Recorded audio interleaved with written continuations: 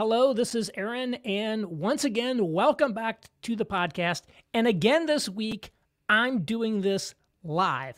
So I will probably continue to do the podcast live until I screw up really bad ones, and then I'll go back to recording it. But for now, we're going to keep with it because it did help with video stability. Uh, and keep sending feedback on that. If you see any video problems, uh, let me know. My three worlds framework for understanding evangelicalism, Christianity in the modern age, what I call the positive, the neutral, and the negative worlds, continues to drive a ton of discussion. It's just going bigger and bigger, which is incredibly gratifying. And if you're listening to this going, well, what the heck is this framework? I will throw a link in the show notes to my First Things article called The Three Worlds of Evangelicalism. I'm not going to go into it here, but it's really gratifying to see that something you created provokes so much discussion out there in the world. It's great. I got a couple of these going. As I said, my Indiana discussions uh, are also kicking up a lot of discussion. When it comes to the positive, neutral, negative world, not everybody buys into the framework. So some people are disagreeing with it, but that's okay because disagreement is still engagement. Uh, it's been said the opposite of love isn't hate, the opposite of love is indifference. And so when people are even disagreeing with you, it's actually still engaging with you, which is great. And a lot of times we can actually learn a lot from the people who disagree with us. Sometimes even the people who really hate you and just rag on you can tell you things that are very important and give you information that may be unpleasant to see or here, but is very useful anyway. But even the more respectful critics often can give you really great information, news you can use, as I like to say. Let me give you an example. Uh, there's a guy out there, Samuel D. James, who wrote a letter to the editor of First Things magazine, uh, taking issue with some of my articles. Now, I've known, I don't know Sam personally, but I've followed him for many years. And Sam disagrees with me on a number of points. But you know what? That's okay. I like him. And my measure of whether someone's basically a good guy is not whether or not they agree with me. In fact, he wrote an article for First Things. I think it was called The Lost Boys. Uh, that was one of the original inspiration pieces for me starting my masculinist newsletter back in the day. And in this First Things response to my article, he's like, hey, you really should be looking at H. Richard Niebuhr's framework uh, from Christ and Culture. So, H. Richard Niebuhr wrote this book probably about 70 years ago where he talked about the different ways that Christians can respond to culture. You can fight culture, you can withdraw from culture, you can assimilate to the culture. There's four or five different ones. And you know what? That's really a great framework to anchor back to because I don't want to give the impression that I think these culture war people invented the very idea of fighting with the culture. No, I mean, they were drawing on themes that have been around for a long time. So at different points in time, different ones of these themes or response patterns comes to the fore. And so it would be good if I were able to write an expanded version of my three worlds thesis to more engage specifically with uh, Niebuhr and with other people. I've actually been collecting various frameworks and different other observations about the world so that I can anchor mine in what a lot of other people are doing or how it differs or or is similar to it. So when people say things like this, it's actually often very good stuff. You can say, yeah, even though this guy doesn't really agree with where I'm coming from, there's a lot we can learn. We can actually improve what we're doing. It's interesting to see who likes and doesn't like the framework. The people who have given me the biggest positive feedback, interestingly, are the seeker sensitives. That group I said were kind of a positive world group that represent essentially non denominational megachurches who, in many ways, are the evangelical mainstream, if you want to call them that. Now, of course, a lot of them have never read it, never heard of it. That's a huge group, but I've gotten the most positive feedback from them. And most of the feedback that I've gotten from that group is positive. So it's like, wow, I've seen all this stuff out there in the world. I've tried to make sense of the world. You just helped me really understand all the stuff that's been out there, but I couldn't quite put my finger on it. So that's great. The culture war people, by and large, I've heard very, very little from. Let's be honest, they don't read magazines like First Things. They tend to be listening to Sean Hannity or something like that. So this is a group of people that uh, really probably has had less exposure to what I'm talking about, and I haven't gotten uh, much from them at all. Uh, I think to some extent they would resonate with the idea of a negative world because that's sort of their their mindset towards culture is very negative. But I'm a little bit down on this idea of fighting uh, in the way that they do. This idea that we're going to take back the country, we're just going to fight like the moral majority fought. That sort of mentality, I think, is a little bit obsolete. Things need to be different today. The cultural engagement people is where I've gotten the most engagement. Again, those are the people who, by and large, read magazines like First Things. You know, who reads 4,500 word magazine articles? Uh, that's that's those people. And this is where I've gotten, you know, by far the most negative uh, take on it. Now, I will say quite a few neutral world people are positive on it, but quite a bit of negative uh, as well. And it's not uh, hard to see why, because in essence, I sort of uh, rain on their parade a little bit by saying that I think that this model is sort of becoming obsolete uh, in terms of being effective um, for mission. And so, what I always say to people, if they don't find what I'm doing of value, if they don't like it, don't use it.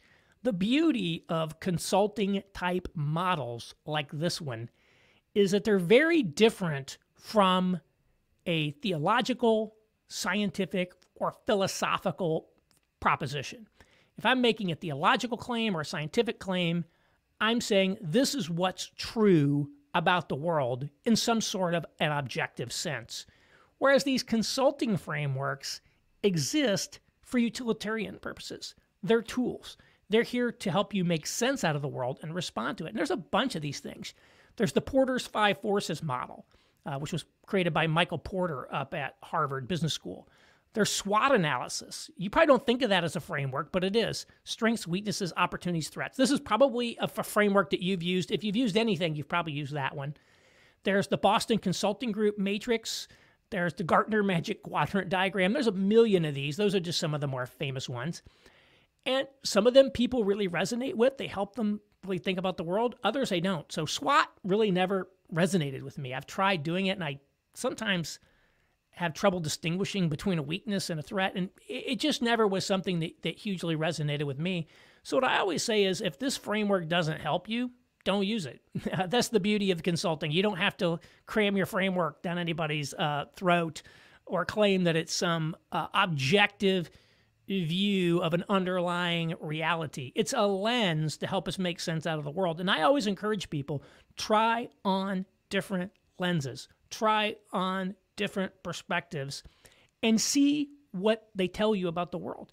Maybe it's even a perspective that you don't agree with, but maybe that perspective gives you an insight you didn't have before that you can incorporate into the strategy you're using for your own life, for your ministry, for your business, uh, etc. So I'm really excited um, about how this is going. Today, I really just want to talk briefly on the cultural change point again. When I did my podcast around Eric Hoffer and outsider cultural change, I left off one example that I had wanted to talk about because it was actually a reader request. So I want to come back and address that. And it'll give me one more opportunity to come at the outsider cultural change piece from a little bit of a different angle. Maybe look at it from a center out versus outside in perspective.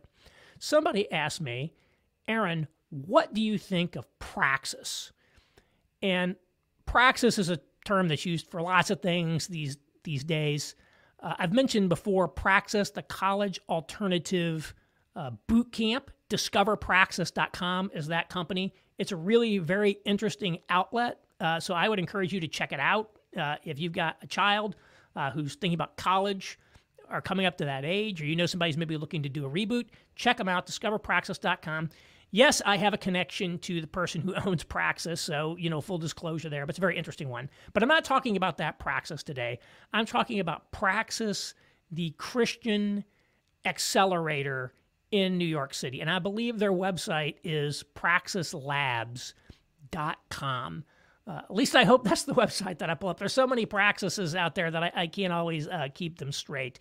But Praxis says, if you go to their websites, that they are advancing redemptive entrepreneurship and that they are building a venture, excuse me, it's a venture building ecosystem with a redemptive imagination supporting founders, funders, and innovators motivated by their faith to address the major issues of our time. And they say that they have 206 ventures and there's been $100 million in capital uh, deployed to those. I don't think they directly invested 100 million, but these businesses have raised 100 million dollars, and they have two tracks. One is a for-profit business track, similar to like a Y Combinator or something like that, and then there's a nonprofit track. And I have not gone into detail on Praxis. Uh, but as it happens, I know and know of some of the people who founded it.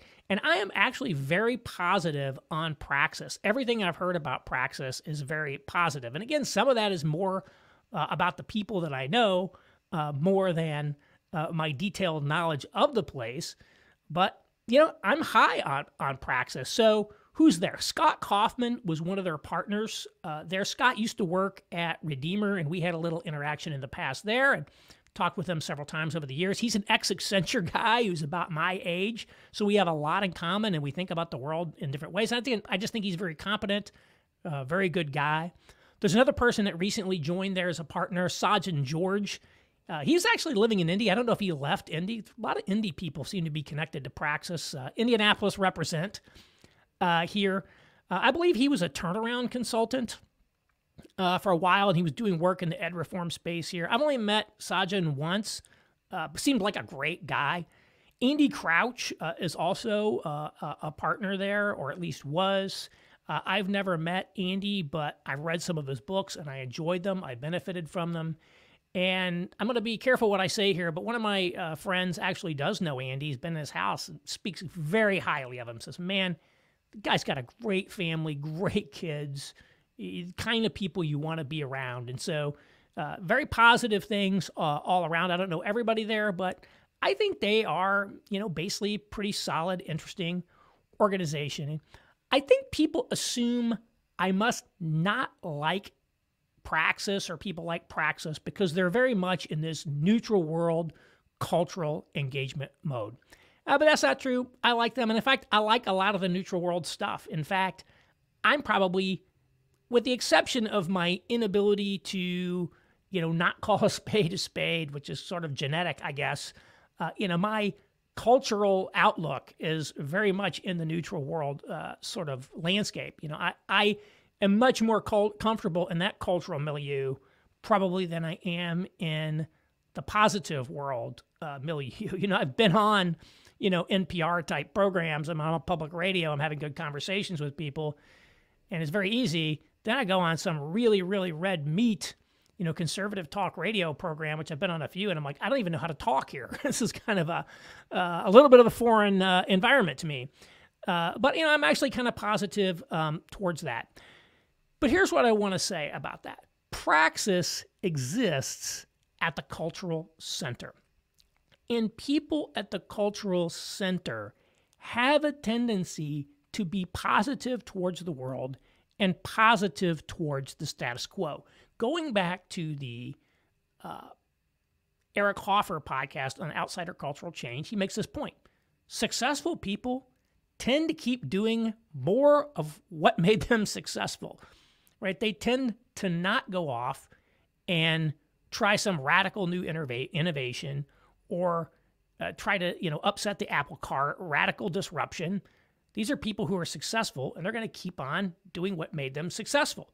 It's the failures and the people who weren't successful in the model who tend to be more challenging in the model, more innovative. Now, I think he understates the degree of change that often does come out of the cultural center. I think his statement of people who tend to keep doing uh, what they're doing is that made them successful is often very applicable to you know, first generation success, the nouveau riche, the arriviste. Uh, whereas, uh, you know, the second, third, fourth generation, uh, you know, trust fund heirs tend to be a little bored, tend to be a little guilty, and often get involved in various movements of, you know, of a reformist stripe or of a change stripe. That may be a little bit less true today, but I used before the example of, you know, the settlement house movement and a lot of, uh, you know, uh, WASP women or second, third generation heirs became very, very involved in sort of various social movements, particularly the earlier part of the 20th century. So people at the center can and do uh, change things, but by and large, I think people at the center tend to look around and think that the status quo is pretty good. Uh, I use the example of David Brooks. So David Brooks uh, writes these columns, you know, in the New York Times, and he often has a sense, I think, of worry or alarm that these forces of social conflict and disintegration sort of threaten the republic in a certain way.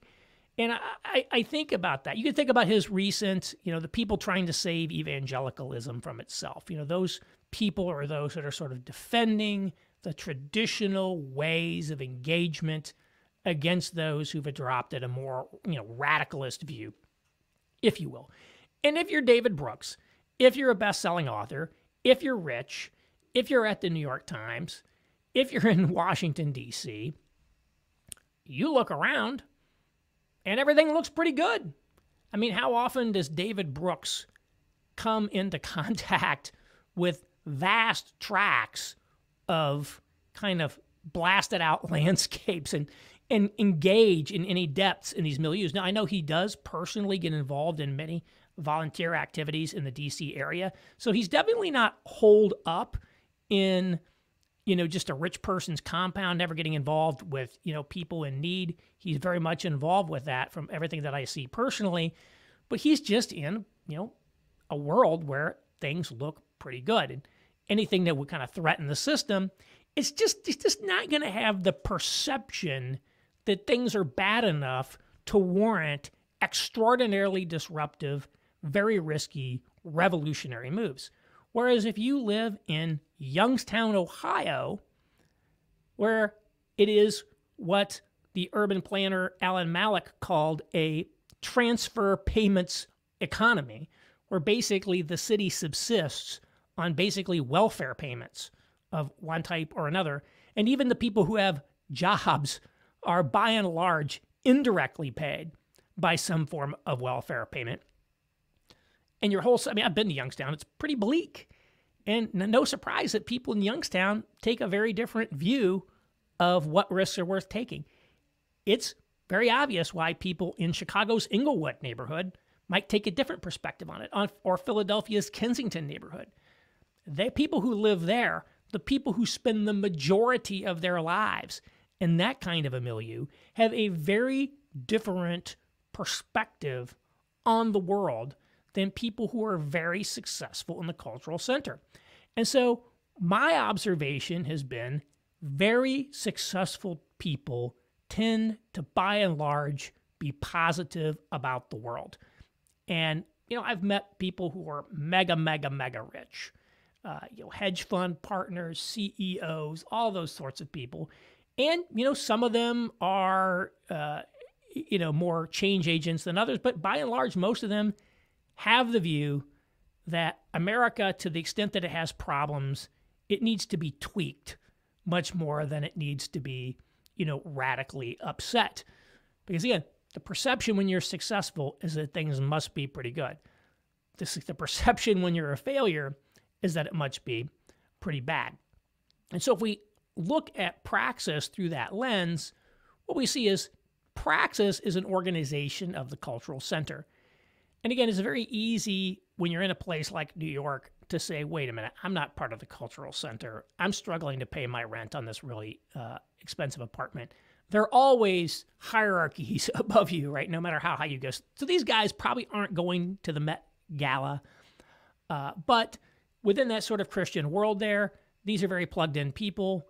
They, they either are the cool kids, they're plugged in with the very cool kids people, and you know they got access to money they've got an office in hell's kitchen this is an organization that exists in a cultural center and so i went and just looked at their website this morning and they had three businesses uh, that they featured on on the front and i'll, I'll just uh, listen to what they are One, I, I didn't write down the name of it. It's a cryptocurrency savings application. So, crypto.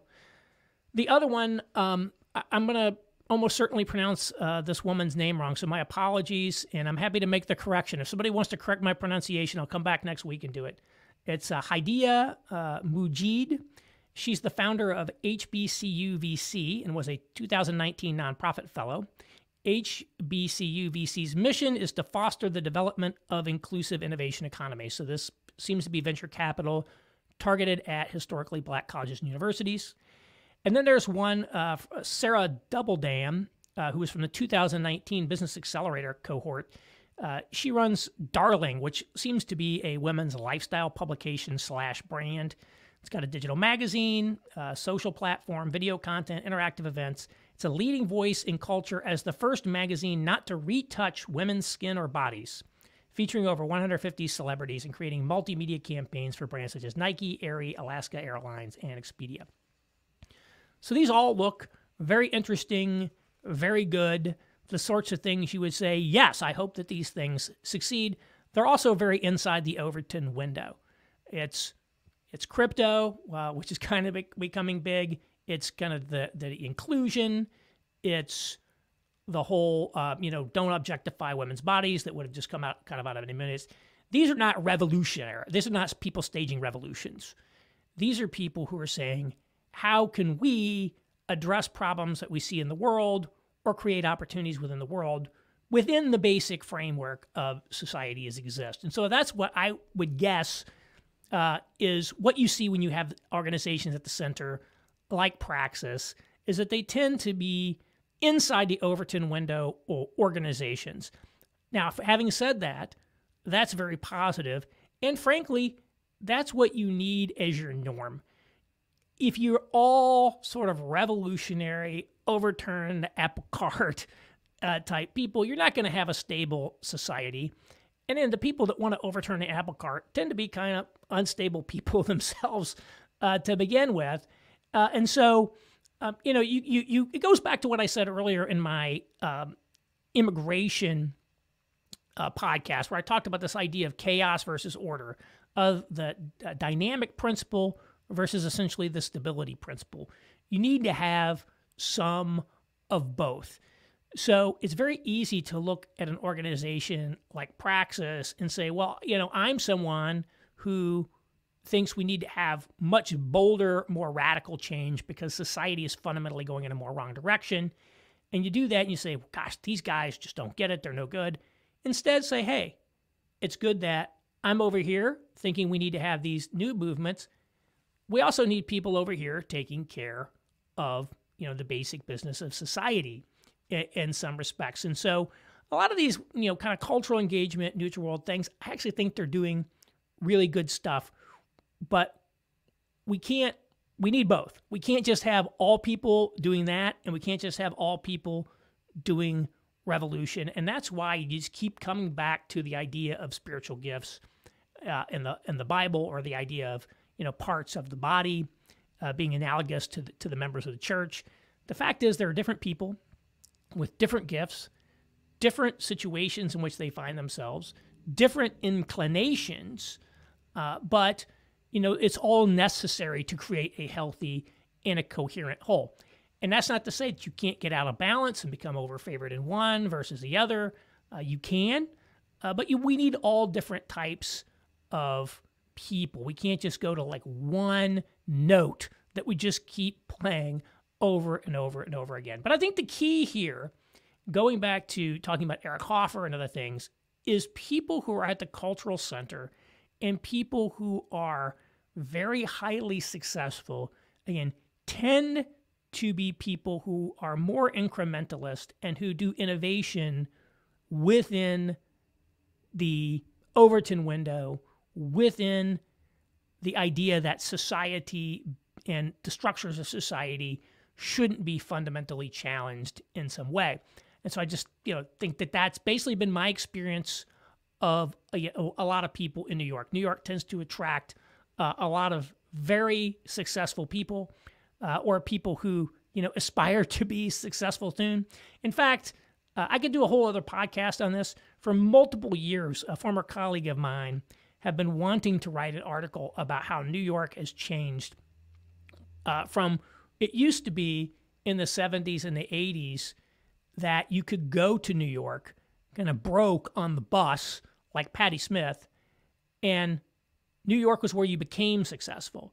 Whereas today New York by and large is a place that you only go after you've become successful at some level uh, in terms of you know maybe you've got a degree a family connection a job people are not going in at the bottom without connections, without cash, without credentials, and making something happen uh, by and large in the way that you heard all of these old stories about people, you know, dreaming of New York and going there. It's become a different place. It's become a it's become a city uh, of uh, you know people who are already successful at some way, not just people who are in the process of becoming successful. And again, that's that's not a hundred. It's not a hundred percent blanket statement either. I'm sure there are people who are out there saying, "Look, yes, I came there from nowhere in order to try to make it on Broadway." I know people do that, but know, I'm just talking about tendencies that have shifted um, over time. And so, uh, New York, D.C., L.A., these global cities, they come with a certain perspective, and that's the perspective of people who've been successful within the current system, and therefore tend to be skeptical of ideas that would radically transform the system. Um, you know, in a, in a sense. So I'm just, you know, nothing really about Praxis uh, other than to say I like those guys. I'm very positive on everything that I've seen that they're doing. I'd love to go out and check out about more of what they're doing there, uh, but sort of just an opportunity for me to talk more about this idea of the cultural center. But I did want to take uh, that question from a reader. So yes, uh, very uh, generally positive on them to the extent that I know. And so thank you for listening, and I will talk to you again next week.